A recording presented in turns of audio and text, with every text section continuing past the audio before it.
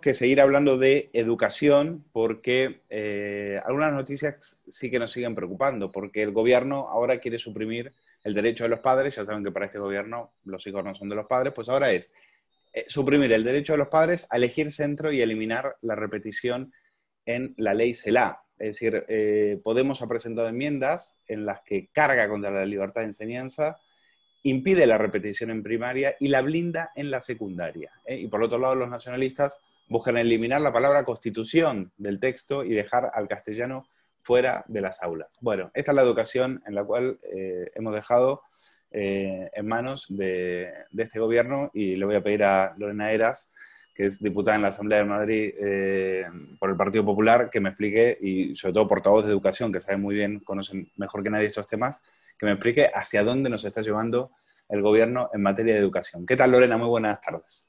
Buenas tardes, Luis. Un placer estar de nuevo con vosotros.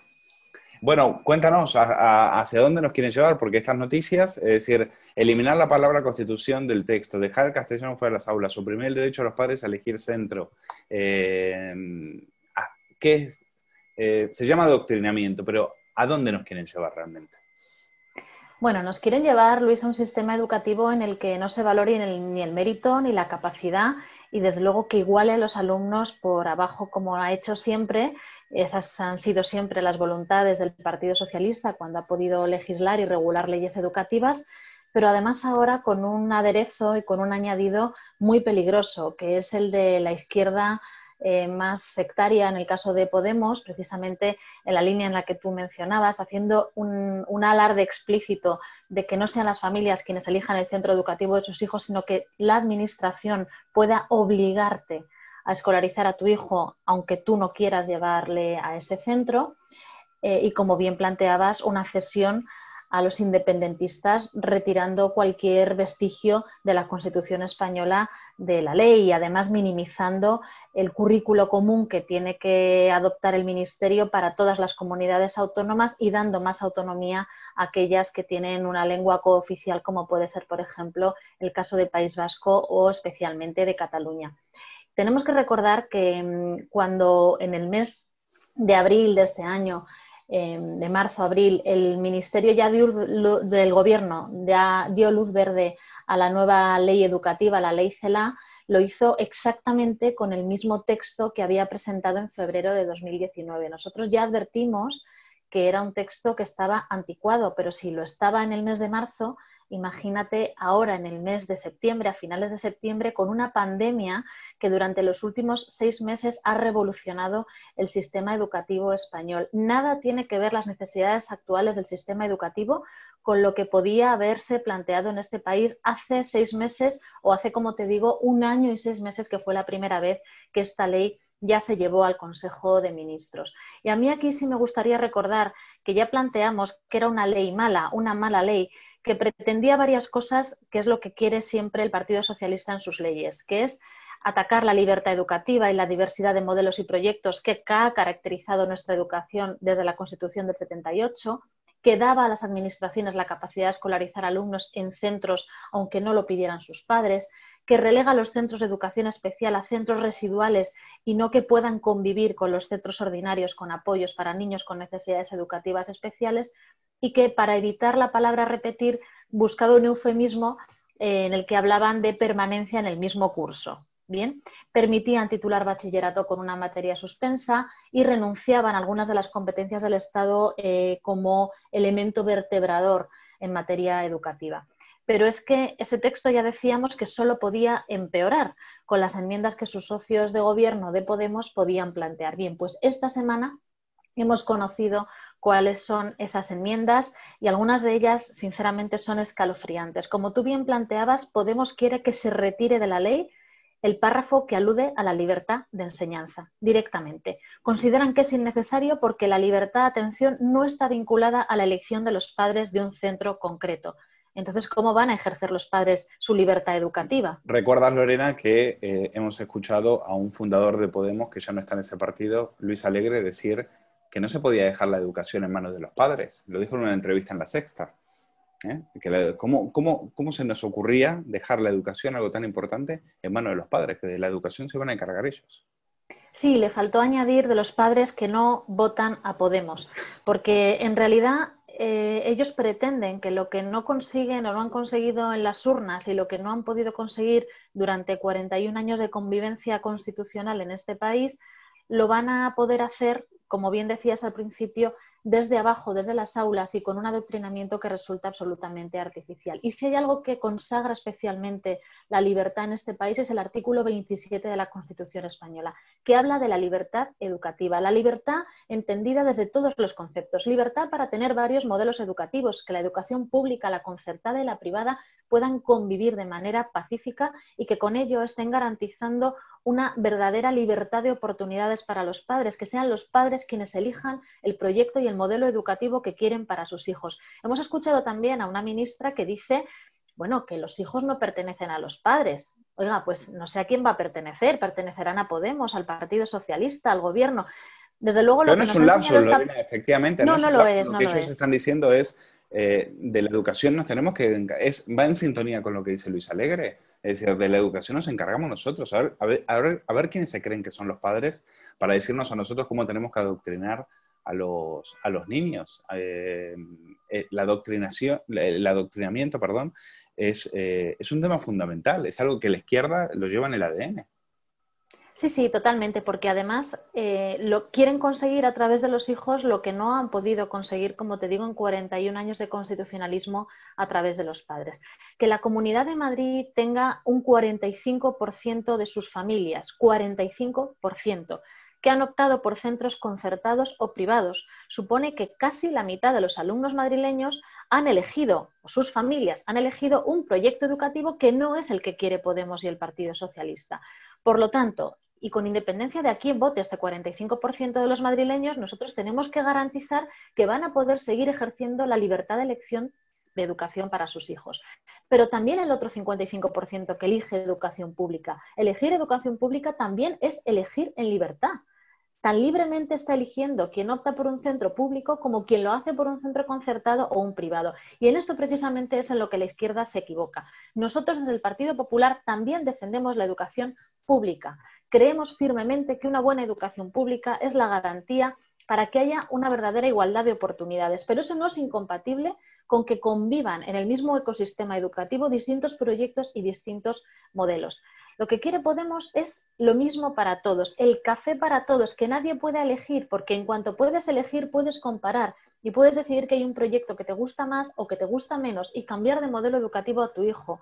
Elegir un centro no necesariamente porque esté más próximo a tu domicilio, sino porque consideres que es el proyecto que más se ajusta a tu planteamiento de familia, bien por convicciones religiosas o por un proyecto educativo vinculado a la innovación tecnológica o a los proyectos de deporte, ¿no? intensificación de, de la actividad física y el deporte. Sencillamente, ¿por qué creemos que los políticos sabemos mejor lo que necesitan los hijos de los madrileños o de los españoles. Esa es una actitud absolutamente tuteladora del Estado, que es lo único que está persiguiendo Podemos, hacerse con todas las instituciones y dirigir la vida de los españoles y de los madrileños desde sus eh, posiciones maximalistas, porque en realidad van a pretender imponernos su modelo, que no tiene por qué ser el modelo de la sociedad madrileña y de la sociedad española. Bueno, eh, Lorena, ¿cómo ha sido la vuelta al colegio? Porque mm, hay que, al parecer, mejor de lo que muchos esperábamos. Eh, en este momento, en las cifras en, Madrid, eh, ¿cómo están? ¿Hay, ¿Hay motivos para la preocupación o de momento se está capeando bien el temporal? Bien, yo comprendo que la vuelta al cole era un reto y una, un verdadero motivo y momento de tensión para toda la sociedad. Era una puesta a punto y una exhibición de hasta dónde la Administración había hecho una buena preparación dentro de las competencias que tiene para abordar con seguridad y con garantías el retorno de 1.250.000 alumnos a las aulas madrileñas. Y tengo que decir en esto que gracias al trabajo de los equipos directivos, de los docentes, del personal no docente de los centros, pero también del compromiso de las familias y de los alumnos y, por supuesto, de la Comunidad de Madrid que ha puesto encima de la mesa 370 millones de euros extra para poder hacer una vuelta al cole segura. Gracias a todos ellos, a su implicación y a su profesionalidad, estamos teniendo una vuelta al cole relativamente tranquila. Digo relativamente, Luis, porque no se nos puede escapar que así como estamos viviendo situaciones de infecciones por coronavirus en familias, también en algunos alumnos pero estamos comprobando que las medidas sanitarias y de refuerzo que se han implantado y se han puesto en marcha por parte del gobierno de Isabel Díaz Ayuso han dado fruto y están permitiendo que el hecho de que haya un niño contagiado con coronavirus no implica que todo el resto del centro tenga que ser cerrado y que se haya contagiado el resto de los alumnos. Recordarás que Madrid había presentado una estrategia de vuelta a las aulas segura, con mascarilla a partir de los seis años, con grupos burbuja, es decir, con grupos de convivencia estable para que esos alumnos se relacionaran siempre con sus mismos compañeros, con unas medidas de protección relacionadas, por ejemplo, con los recreos o con los comedores escolares o con las rutas, como ninguna otra comunidad autónoma ha podido llevar a cabo. Y eso está dando sus frutos. No significa que no haya ningún contagio de alumnos Em, escolarizados en la Comunidad de Madrid. Por supuesto que los hay, pero los hay porque esos alumnos eh, se han contagiado en su ámbito privado, familiar, en sus celebraciones o en sus momentos, eh, digamos, fuera de las aulas. Será una cantidad mínima la que se haya producido dentro de las aulas y desde luego yo creo que las familias están comprobando que la Comunidad de Madrid sí ha hecho sus deberes y que no se ha lavado las manos, en este caso, en la vuelta al cole. Lorena, eh, tengo que también eh, preguntarte por una buena noticia, que es que los hijos de policías nacionales y guardias civiles solo pagarán 3 euros por el menú en eh, los colegios públicos. bueno, la verdad que es una buena noticia teniendo en cuenta la que está cayendo a nivel, a nivel económico. Sí, así es. Bueno, era un compromiso de la presidenta de la Comunidad de Madrid, Isabel Díaz Ayuso.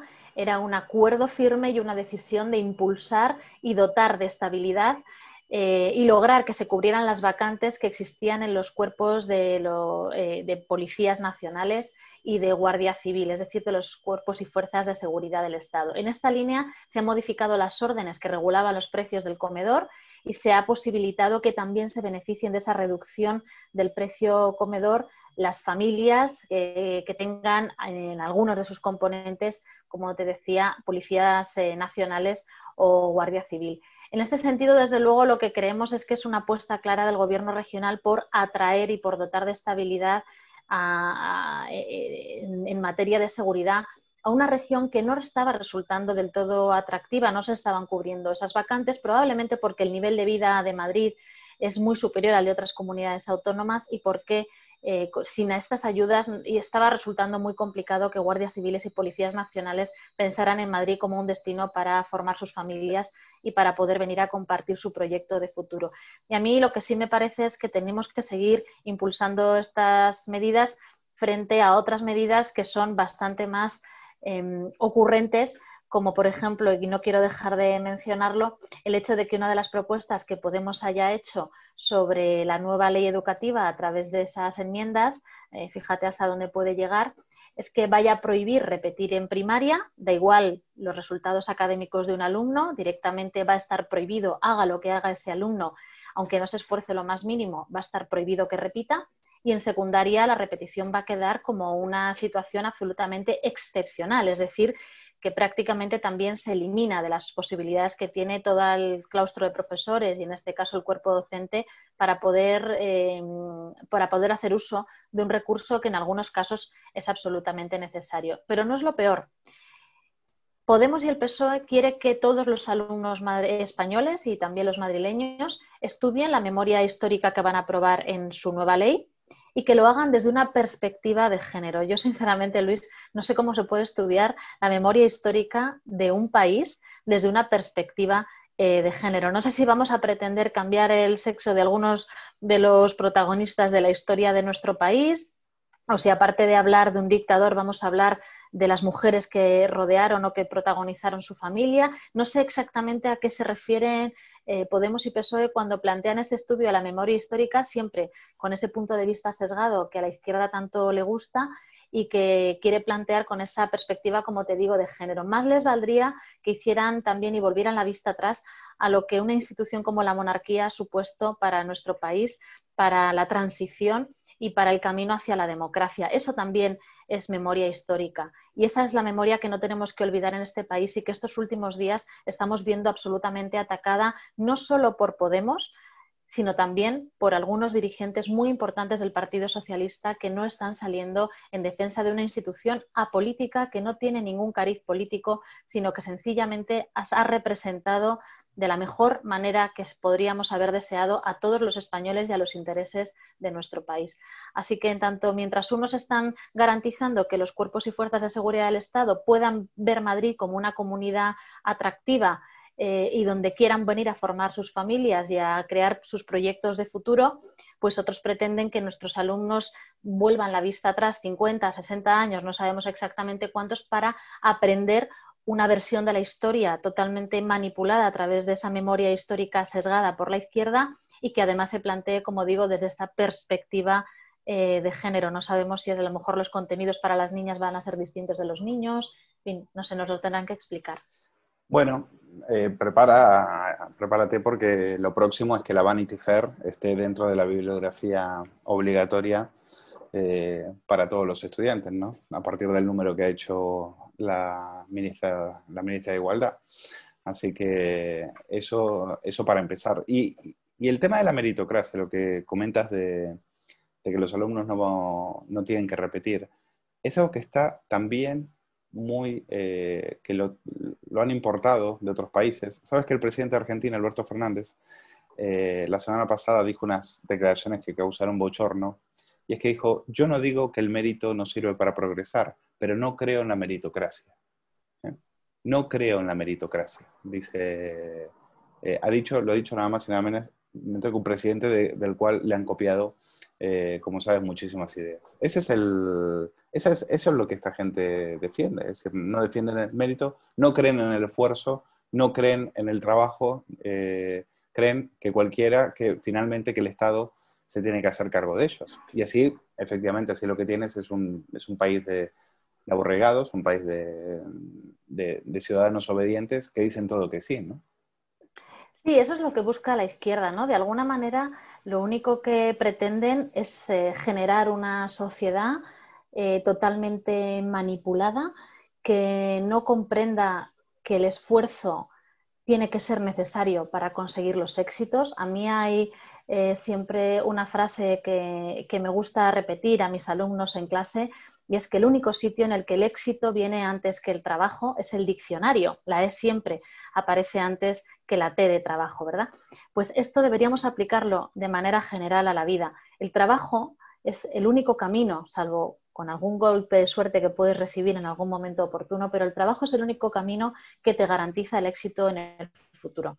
Y lo único que estamos viendo con esas actitudes, como tú dices, de desprestigio y desmérito al, trabajo, al esfuerzo, a la capacidad y al premio a quien de verdad está trabajando y se lo está mereciendo, es que creemos una ciudadanía que no tenga ningún interés por seguir aprendiendo y por seguir mejorando. Es decir, una ciudadanía que sea presa eh, de las ayudas estatales, de los subsidios y de un planteamiento de vida que no nos permita progresar como personas libres, sino estar continuamente dependiendo de un Estado, de unas instituciones que nos van a garantizar eh, el, alimento o la vivienda o nuestra forma de vivir. Esto ya hemos visto que en los países comunistas ha fracasado y, nos está llevando pues a un punto, yo creo que de inflexión como país que nos tiene que hacer replantearnos. Y ya no lo digo yo, ni siquiera lo dice ese refrán del diccionario jugando con las palabras éxito o trabajo.